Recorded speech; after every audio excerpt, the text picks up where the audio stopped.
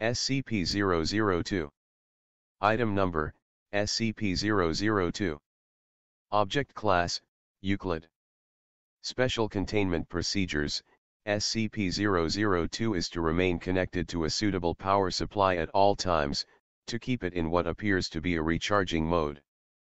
In case of electrical outage, the emergency barrier between the object and the facility is to be closed and the immediate area evacuated.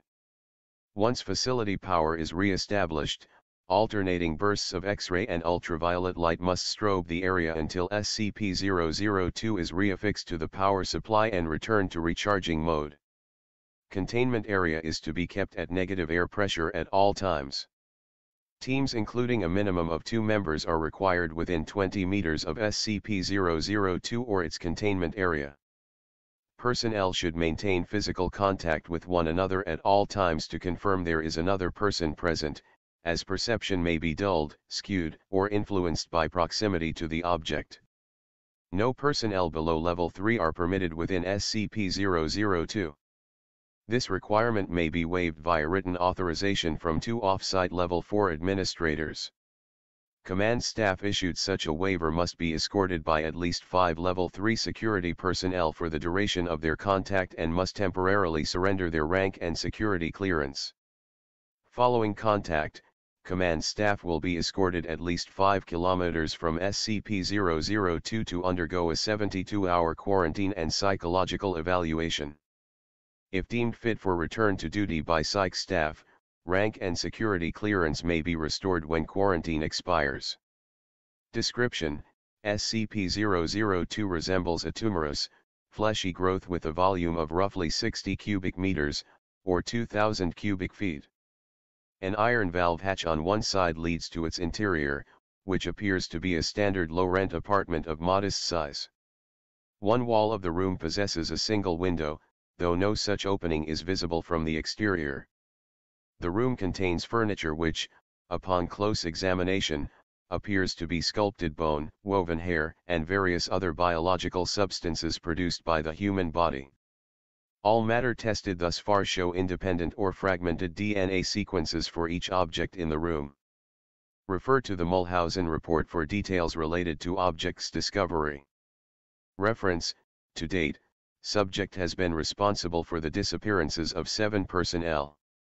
It has also in its time at the facility further furnished itself with two lamps, a throw rug, a television, a radio, a beanbag chair, three books in an unknown language, four children's toys, and a small potted plant. Tests with a variety of lab animals including higher primates have failed to provoke a response in SCP-002 cadavers as well fail to produce any effect. Whatever process the subject uses to convert organic matter into furnishings is apparently only facilitated by the introduction of living humans. Mulhausen Report The following is a brief report detailing the discovery of SCP-002. Subject was discovered in a small crater in northern Portugal where it struck the Earth from orbit.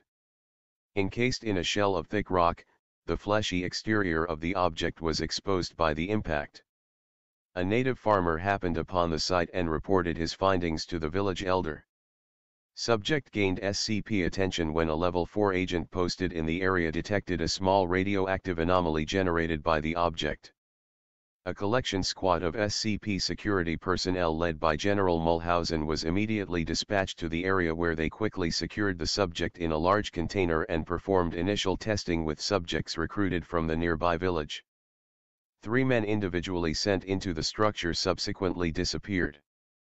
Upon discovering this deadly property of the subject, General Mulhausen issued a Level 4A termination order of any witnesses, roughly one-third of the village, to ensure no outside knowledge of the object and initiated its transport to SCP facility data expunged.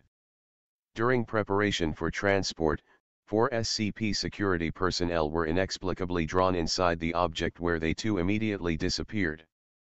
Following inspection, it appeared as if the object had grown several new furnishings and was beginning to look like the interior of an apartment room.